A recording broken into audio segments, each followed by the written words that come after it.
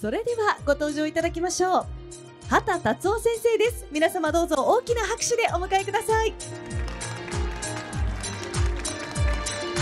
はい、えー、皆さんおはようございますえー、朝早くからですね、皆さん集まっていただきましてどうもありがとうございます。えー、今ですね、ご紹介いただきました写真家の畑です。えー、これからですね、えー、っと、だいたい40分ぐらいですね、11時ぐらいまでお話をしていきたいなと思うので、えー、最後までお付き合いいただきたいなというふうに思います。えー、まあ、あのね、えー、ちょっと立ってると落ち着かないので座らせてもらいますね。で、えー、今回ですね、山風景の心得とメリットということで、えー、お話をしていきます。えー、どうでしょうね、皆さんがあ常日頃写真を撮っている、そういったところのですね、一つでもヒントを持って帰ってもらえたらなというふうに思いますね。で、えよいしょ。まあ最初はね、あの、こういったあ自分の、僕が撮ってるね、OM1M2 で撮っている作品を紹介していきますね。これね、まあ柿と浅間山、この写真はまた後で詳しく説明していくので、えー、これはちょっと飛ばしていきます。で、えー、こちらですね、あの、白馬の山になるんですが、あの、今年っていうか今シーズンですね、やっぱ雪が少ないんですよね。で、僕らは、あの、季節によって取る対象物が変わっていくので、その雪のシーズンは雪を取りたいということで行動していくんですが、やっぱりなかなか雪がなくて、で、そういった時に僕らどうどういう行動をするのかというと、やっぱりね、雪のある場所に行く。雪が降ってないなら降ってる場所に行くということですね。えー、といっても本当雪が少なくてですね、で、どうするかっていうと、雪がある場所、まあ北の方に行く、東北方面に行く、北海道に行く、えー、ということと、まあそれはなかなか時間的なことがあって難しかったりするので、次にね、どういう行動をするのかっていうと、やっぱり標高の高いところに行って、えー、撮影をするというようなことね。えー、で、まあそれで撮影したものですね。で、こちらは、あの、ハイレゾショットという、えー、まあ画素数を増やして撮れると。いうようなシステムを使ってですね、撮影しているんですね。だから非常にね、緻密な描写ができているということですね。で、先ほどお話しした、あの、標高の高いところと言ってもね、なかなか登山をするということが、あの、まあ、僕は山登りが、あの、割と好きなので、えー、時間があれば登っていくというようなことができ、をするんですが、やっぱね、えー、タイトな時間、時間がなかなか、あ確保できないと言った時にはですね、どうするかっていうと、やっぱね、ロープウェイのある山に登るんですね。えー、なので、こちらはですね、えー、八ヶ岳のピラタスロープウェイですね。えー、で、そこから、ロープウェイで山頂まで行ってです、あ、山頂とか上の駅まで行ってですね、え、そこから1時間半ほどで、北横岳という、まあ、2700メーターぐらいかな。あ3000メーターまでないんですけどね、そういった山のところに登って写真を撮っていくということですね。でもね、これもね、やっぱ例年に比べて全然雪がなかったですね。でもやっぱり、あのー、気温としてはもうマイナス、昼間でもマイナス5度とか、あそういったような気温の中あになりますかね。で、ちょっと季節が戻りますけど、秋口はですね、雲がたくさん出て、あ、雲海がたくさん出るんですけれども、まあそういったところを狙うために、やっぱり標高の高いところに行ったりとか、あするわけですね。で、えー、やっぱり標高の高いところから見下ろす風景というのは、あやっぱり普段見る風景とは異なって見えてくると。で、こういったね、雲海の中に浮かび上がるこの街灯の光ですね。特にライトアップをしてるわけではないんですが、あ暗い中、あまあ、朝方、朝方っていうよりももう夜ですね。カメラっていうのは、あの、暗い中でも明るく映ってくるので、空、あの、オレンジ色に映っていますけど、肉眼で見るとね、もう少し、あの、色がない状態ですね。うっすらと黎明の時間帯というようなことになるんですが、その、夜の本当に暗い時間じゃないとこういった雲海の中の浮かび上がるライトっていうのは撮れないので、またこれもね、ちょっとさ後の方でお話ししていきたいと思います。で、えー、こういったね、無表のが舞い散るところそういったものも取るということ。これね、まあ、無表があるところに行かなければ当然取れないわけですが、無表があった時に、こう、風で舞うんですけど、それにね、えー、対応していくっていったことね。まあ、それのちょっとお話も後半でしていきたいと思います。あとね、これね、もう皆さん OM システムに興味のある方はですね、ライブコンポジットというシステムね、耳にしたことがあると思うんですが、あこういったあ OM システムを使うことによって、この、あの星の軌跡ですね、えー、そういったところを取ることが可能になると。本当にね、えー、操作としては簡単なので、今日具体的なお話はライブコンポジライブコンポジットについてはお話ししませんけれども、本当にね、簡単な操作でこういったあ写真が撮れるということになります。で、え、っとね、これもね、やっぱね、黎明の時間、黎明の時間っていうのは日の出が日の出の、まあ、30分、40分ぐらいの、まあ、時間ですかね。空、東の空がうっすらと明るくなってくると。こういった時間帯に、えー、カメラを構えると、えーライ、ライブコンポジットを使ってですね、えー、カメラを構えると、こういった写真が撮れると。でね、自然風景って、やっぱね、あの、すごく味方をしてくれる時もあれば、逆にね、ちょっと意地悪をすることもあるなっていうのは、この写真を撮った時に思ったんですが、これ、上にあの、縦の筋が2本入ってますね。すごく大きな流れ星が、あの、流れました。で、えー、これね、レンズが、あの、825という非常に広いワイドレンズ、超ワイドレンズですね、の8ミリ側で撮影しているので、えー、まあ、空の半分ぐらいはやっぱ画角カバーしてるんですよね。だから流れ星が入った時に、流れた時に、やった画面の中入ったと思ったら、やっぱね、端っこの方にしか映ってないんですよね。これ本当自然風景って意地悪だなっていうふうに思いましたけど、まあこういったことを何回も、あの、チャレンジしながら自分の作品を作っていくということですね。やっぱね、何回もチャレンジすることが大事なんですよね。で、撮影スタイルですね。まあ、車であのずっと走りながら被写体を探していくということもあれば、山をね、一日中歩く。一日中ってね、6時間とか8時間、あの、普通に歩きます。えー、それで被写体を探しながら歩くというスタイルと、もうね、一箇所に、あのー、決めて、ずっと昼間から次の日の朝までいるというような、あのー、スタイルの時もあるんですが、こちらのですね、これタイムラプスと言うんですが、タイムラプスを撮るときは、その一箇所にもうずっと夕方から次の日の朝までいるというふうに決めたときに、えー、カメラを三脚に立てて、タイムラプスの設定をして、えー、撮影をするというようなことをするんですね。タイムラプスはね、カメラ一回セットしておけば、もうずっとカメラがずっと仕事してくれるので、えー、ね、カメラセッティングして、こっちでご飯の準備をして、で、えー、またね、本を読んだり、しながら、あまた、あの、カメラ複数使いますから、こっちでは静止画を撮って、で、ずっと、あの、カメラに仕事をしてもらうというようなことができるので、ぜひね、タイムラプスっていう撮影もね、皆さんチャレンジしてもらいたいなというふうに思います。で、えー、っとね、今日はね、やっぱり皆さんに、あのー、撮影の極意を、お話したいなというふうに思います。まあ、えー、撮影の心得というようなことにもなってくるんですけど、どうでしょうね。今日お話しすることをですね、これから1年皆さん実行することができたらですね、もしかしたら今皆さんはこちら、あの、ステージの向こうからですね、僕を見ていただいてるんですけど、これから僕がお話しすることを実行してもらえば、もしかしたら来年は皆さんがこっち側から話す人になってるかもしれませんね。それだけね、あの、僕はいつも常日頃考えて、えー、やっているお話をしていきたいなと思います。で、それはね、何かっていうと、あの、あっちゃっぱ。これね、もう合言葉にしてもらいたいなというふうに思うんですが、これを絶えず撮影の時に実行する。ということね。えー、あっちゃっぱもう本当合言葉としてぜひ覚えて帰ってもらいたいなと思うんですけど、そしてカメラのある方はですね、ぜひ撮ってってください。で、えー、まあ、あっちゃっぱって何なのよというふうに思うと思うんですが、まあ、これね、これから、えー、お話をしていきたいと思います。さて、あっと思ったら、チャッと構えて、パッと撮る。まあ、これだけなんですね。結構単純なことなんですけど、単純なことがなかなか実行できない、えー、ということがあると思います。で、まあ、あちゃぱのあ、あ、で、まあ、これが一つの例なんですけど、先ほど冒頭で見せてもらった作品は、えー、横位置のシャットです、ショットでしたけど、これ縦位置ですね。まあ、これね、これを撮るときのロジック、考え方ですね。というのは、ああ、柿がある。これ車でずっと走ってるんですけど、ああ、柿があったな。で、今日は晴れてる。で、今自分がいるところは、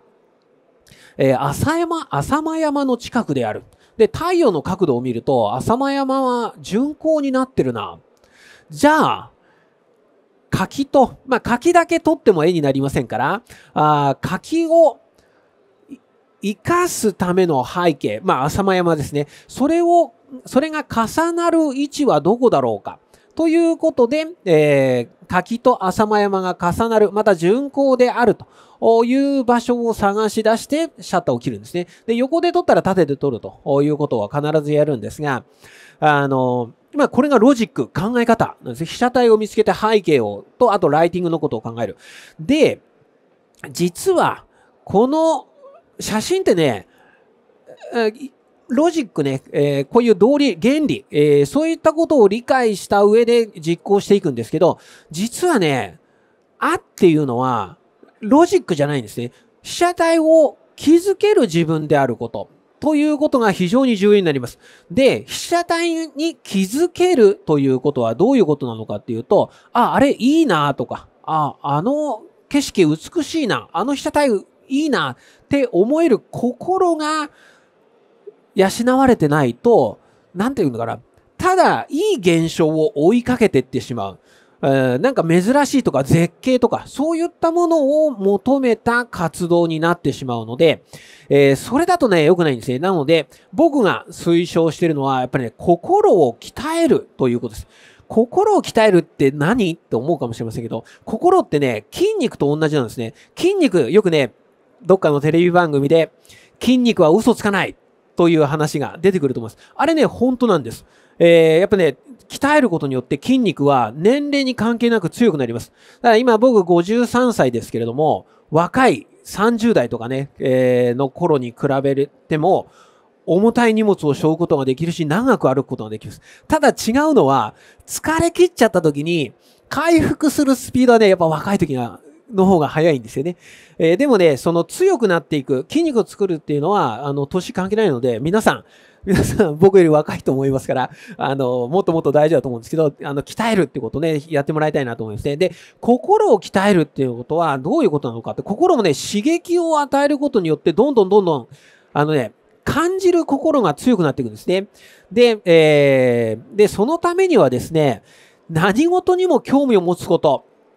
というのがすごく大事なことです。で、興味を持つっていうのはまたまた難しいことだと思うんですけど、で、興味を持とうと思って行動しても、興味持てないので、やっぱりね、何事にも、まあ楽しみながら良いものを見る。で、楽しみながら良いものを聞く。で、楽しみながら良い体験をする。で、ここで大事なのは、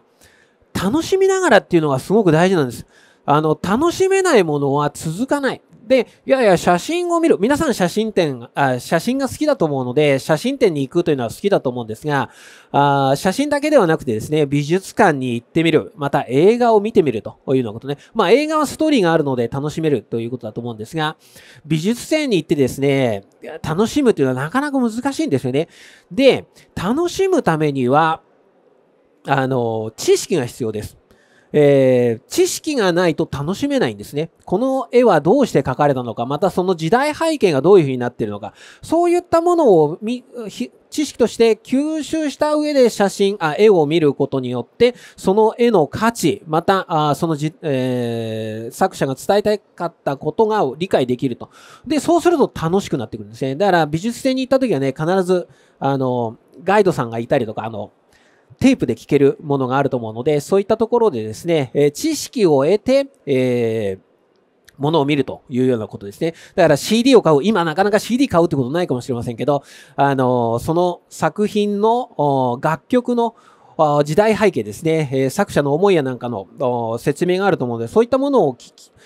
知識として入れてまた聞くことによってその楽しさっていうのは膨らんでいくんですね。だから心を鍛えるということね。それはもう楽しみな、楽しみながら物事を実行していくということ。そして何事にもチャレンジする。まあや、躊躇するんじゃなくて、また恥ずかしいからということではなくて、チャレンジするというようなことをしてもらいたいなと思いますね。で、今回はですね、OM システム、えー、OM1 の Mark2 がですね、こちらに、デモ機としてありますから、あそれをね、ちょっと恥ずかしいなというふうに思わずに、チャレンジして触ってみるというようなことね、えー、ぜひやってもらえたらなというふうに思いますね。で、次に、チャですね。チャって何ということになるんですが、チャっていうのはね、まあ、チャッと構えるってことね。で、こういう風にね、風が吹いた時に雪煙が舞うんですけど、あのー、バーっと、風が吹い、吹かないとこういう風にならないのね。で、風が吹くのに、もうね、若い時っていうのは反射神経で、あ、風吹いたってバッてチャッと構えられるんだけど、やっぱりね、そうはいかないんですよね。で、そこで大事になるのは先を読むということ。風が、あ、吹きそうだな、というふうに思った時に構える準備をする。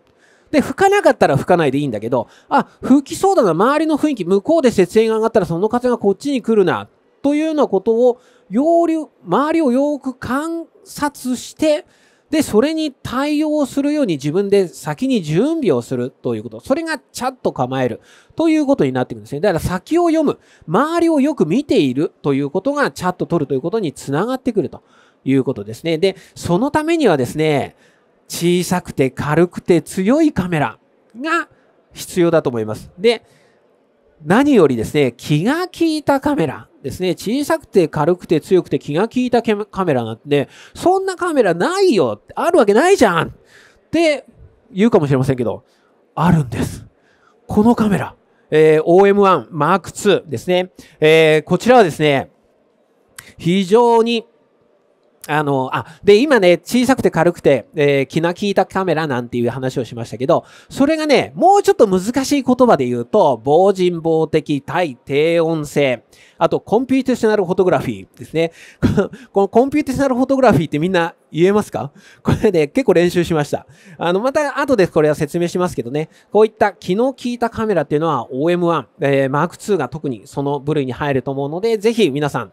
体験コーナーがあるので、後で、えー、体験していただきたいなというふうに思いますね。で、パッと撮るということね。もうそれはもっと構えたら、チャチャってシャッターを切るということが、あになっていくんですけど、ね、あ、もみじがある。あの、ああやって撮りたい、こうやって撮りたい、ボケを使って撮りたい、パッて撮るということね。えー、そういうふうにパッと撮るということね。で、パッと撮るために、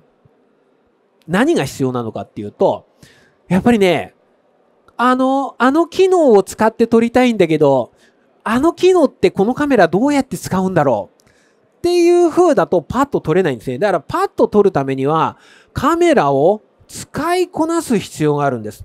で、あのボタンは何だっけなんて考えちゃったら、もうそこでパッと撮れないので、パッと撮れるように準備をする。準備というのは自分が知識を得る。カメラの使い方をしっかり熟知するということですね。で、えー、今回は OM1M2 ということでお話をしてきますけど、OM システムのカメラっていうのはですね、このスーパーコンパネ、これをね、使いこなすことで、えー、非常に、ね、使い勝手が良くなってくるので、ぜひね、あのー、持ってる方はスーパーコンパネを対応してもらうし、これからどうしようかな、考えちゃうなっていう方、操作性がっていう風になると思います。えー、その時ね、このスーパーコンパネを使いこなしてもらうことを、ぜひね、やってほしいと思います。で、このスーパーコンパネっていうのは、もう簡単、メインスイッチ入れてもらって、カメラの背面も、背面にあるですね、OK ボタンを押すとこの画面が出てきます。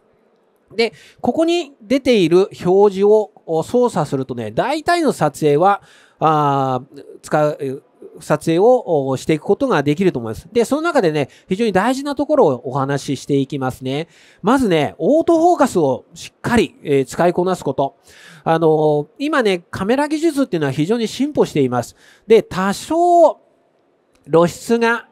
甘くても、あ後で何とかできます。まあ、ちょっとこういう話はね、乱暴すぎて申し訳ないなと思うんですが、あでもね、ピントが合ってない写真っていうのはもう後でどうしようもないんですね。だからしっかりピント合わせることというのはやってほしいなと思います。で、えー、ここのね、スーパーコンパネの左上のところにですね、この緑の枠があるところ、これを選んでもらうとですね、即拠点、オートフォーカスのブロックですね、えー、それをね、ブロックで、大きめなブロック、中間、クロス、あと、ちょっと小さめなブロック、またシングルで、というのをね、選ぶことができます。だから、何を取るか、どういった対象物かで、このオートフォーカスの即拠点の選び方っていうのは変わってくるんですね。僕はシングルを使うことが多いです。まあ、風景の場合はシングルの方がいいのかなあと思いますけど、動物を取るとかね、スナップとか、あで、えー、あと自分に合ったあ即拠点の選び方というのがあると思うので、そういったところをね、うまく選んでもらえたらなと思いますね。また、この被写体検出というのもあるんですね。で、それがあの、左の緑のところですね。これを、あの、クリックしてもらうとですね、これ、これだけ選べます。被写体検出機能って、えー、人物、モータースポーツ、飛行機、鉄道、鳥、えー、犬、猫ということですね。多分犬猫ですから馬にも反応すると思うんですが、こういったね、被写体検出の機能がですね、えー、充実していますから、それをね、あの、使いこなすことも可能じゃないかなと思います。またね、えー、こっからが本題です。このギアのマーク。これでね、カメラをカスタマイズしていくことが可能になるんですね。えー、カメラをカスタマイズっていうのはどういうことかっていうと、よく使う機能をよく使うボタンに当てはめていくということですね。このギアのマークの中にこういう感じで、えー、出ています。これ、えっ、ー、とね、GND というのはグラデーション ND フィルターですけども、これちょっと後で説明しますね。あと、ファインダーの中で拡大表示をしたいといったときに、僕はここの AEL ですね。そのボタンに拡大、まあ、虫眼鏡のマークを入れておくんですね。あと、十字、えー、十字ボタンですね。えー、これで先ほどお話した即拠点を動かすというようなことね、えー、をカスタマイズとして入れています。ぜひね、皆さんこれ、これだけ、これをするだけでね、かなり使い勝手が良くなってくるので、えー、やってほしいなと思いますね。あとね、やっぱりね、複数のマウントで写真を撮る方あると思います。複数のマウントっていうのは OM システムを使ってるんだけど、他のカメラメーカーのカメラも使ってるという方あると思います。で、そういう方はぜひこれやってください。これね、ダイヤル設定。ダイヤル設定っていうのは、人差し指で動かすフロントダイヤル、親指で動かすリアダイヤルがあります。そこにね、あの、メーカーによってそれは反転してたりするんですけど、これをね、えー、自分なりにカスタマイズするんですね。で、そのカスタマイズの方法は、メニューのギアのマーク、で、上から2段目、えー、ですね。のところにダイヤル機能の変更というのがあるので、ここを使うと、人差し指で、フロントダイヤルで絞り、親指で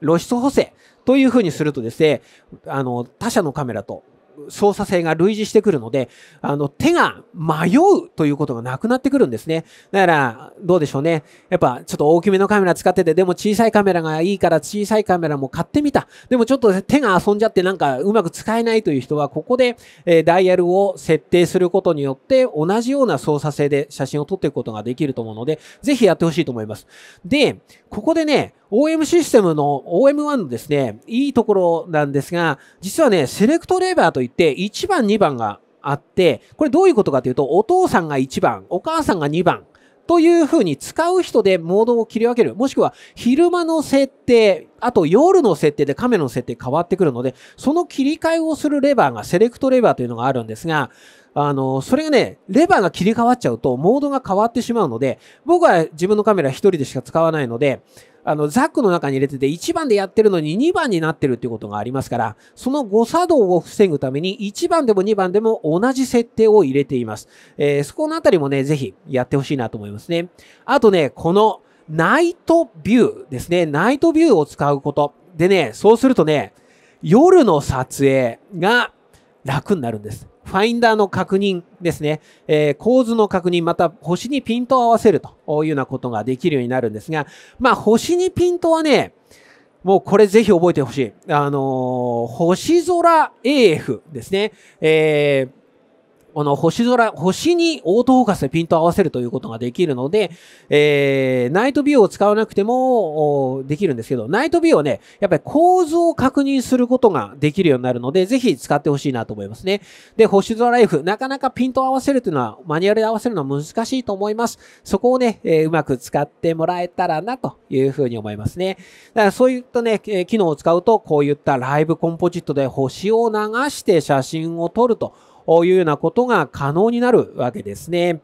えー、ぜひね、ナイトビューと星空 AF を使ってほしいと思います。で、ライブコンポジットの、ってね、夜しか使えないのかなというふうにあるかもしれませんが、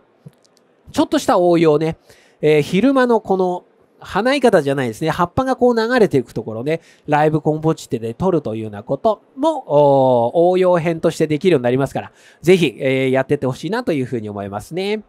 で、この、まあ、ライブコンポジットというのが代表的な存在なんですが、この computational photography ですね。それもね、OM1 の OM システムの一つの特徴だと思います。で、こちら。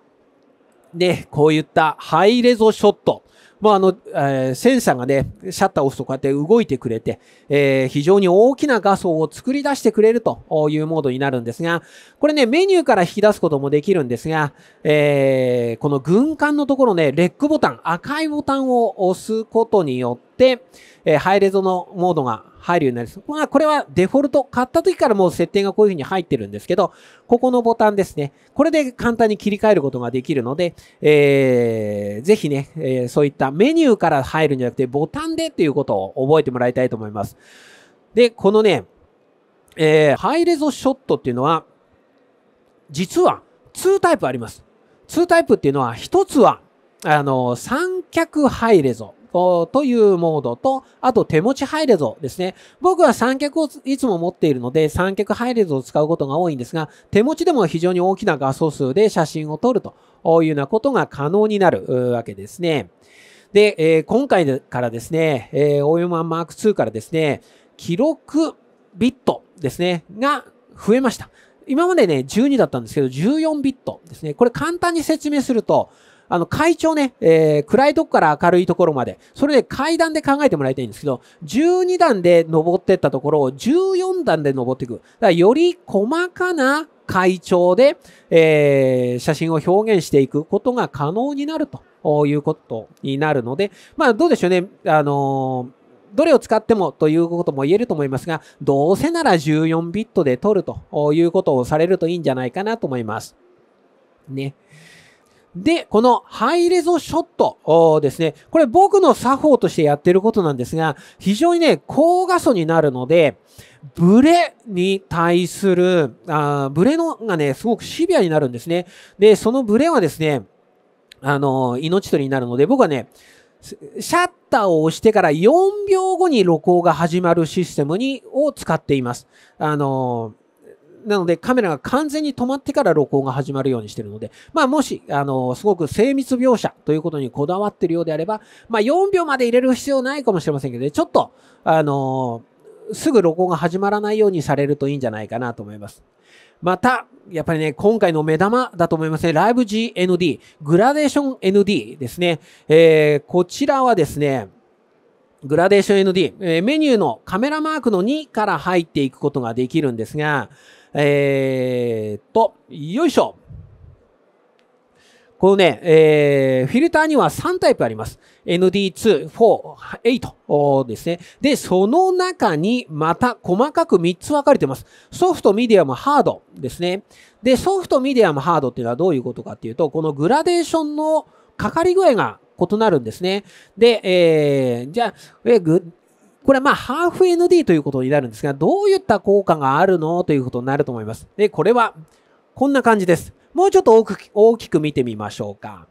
で、これフィルターをか、グラデーション ND をかけてない状態です。で、これはグラデーション ND をかけることによってこうなります。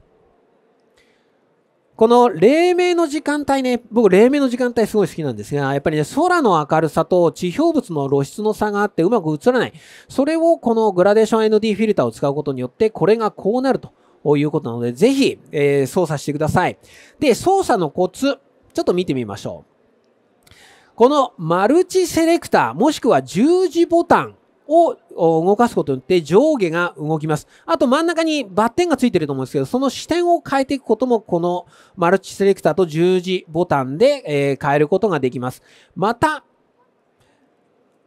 はい。えー、この傾きね、これをね、人差し指で回るフロントダイヤルで変えることができます。で、これ結構大きく動くんですね。で、それをですね、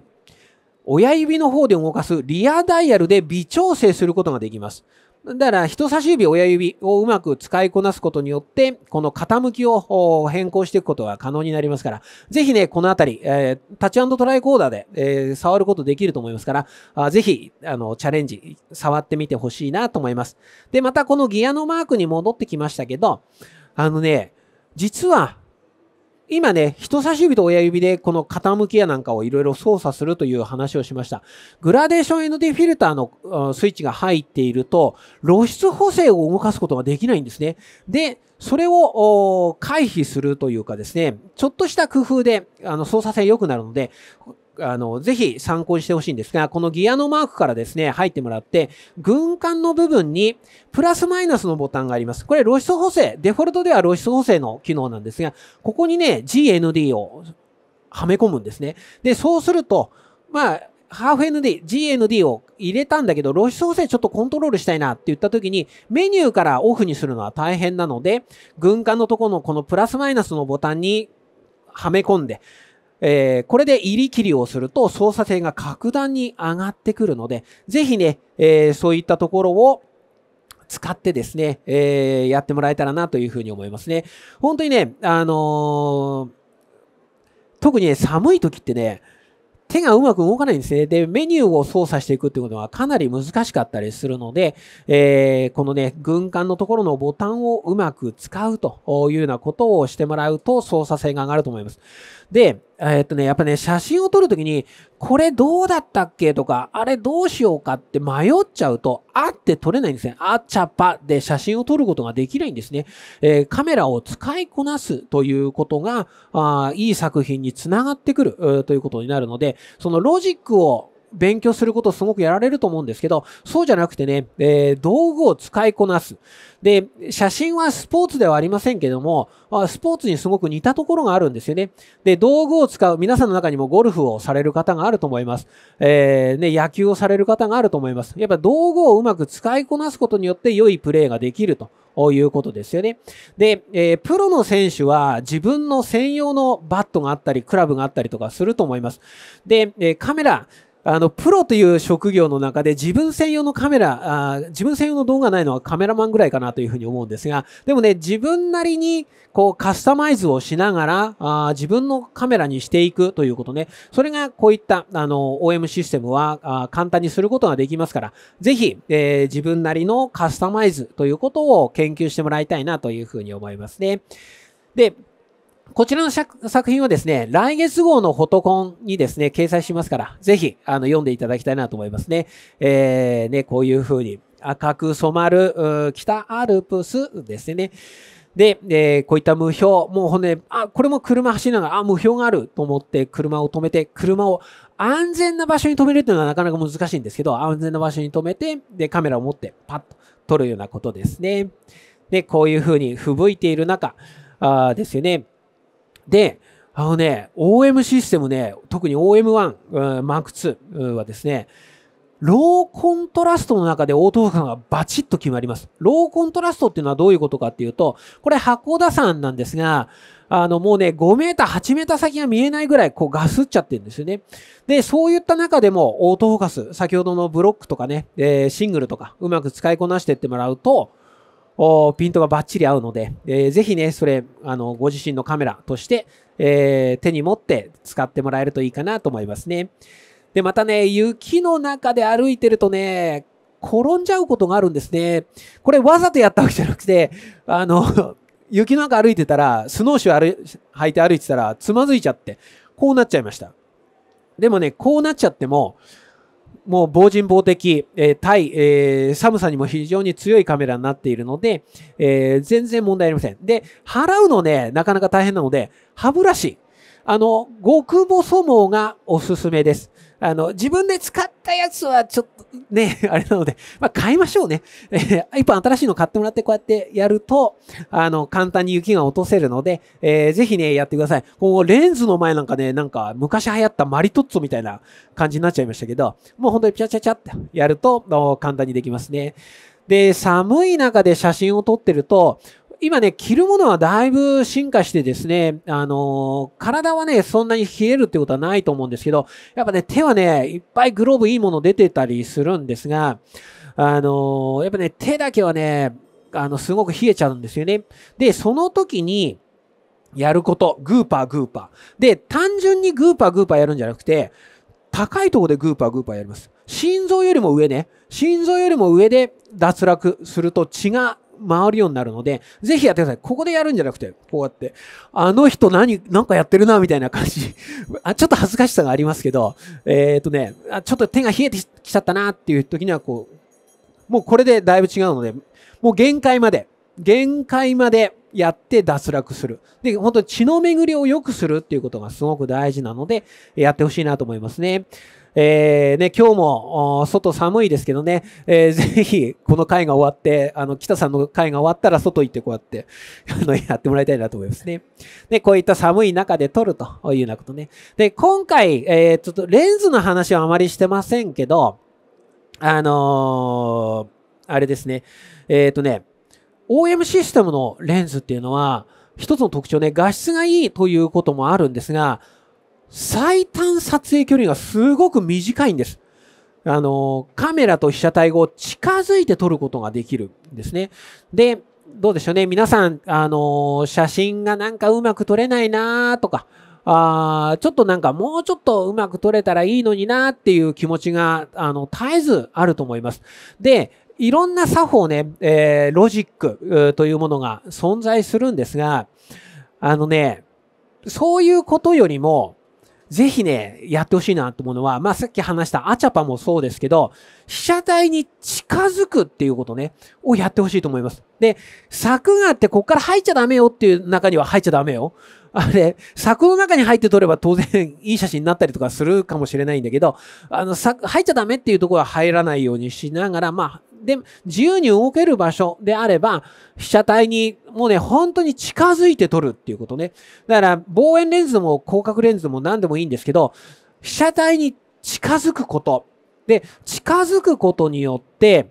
見えてくるものがあります。えー、よくね、かっこよく言うとね、この空気が薄ければ薄いほど、空気の層が薄ければ薄いほどいい写真になるんだなんていう話がありますが、そうじゃなくてね、被写体に近づくことによってよく見えるようになります。物が見えるようになるね。で、ここで見た角度と、ここで見た角度、遠い距離だとちょっと動いてもあんまり景色が変わらないんだけど、近くで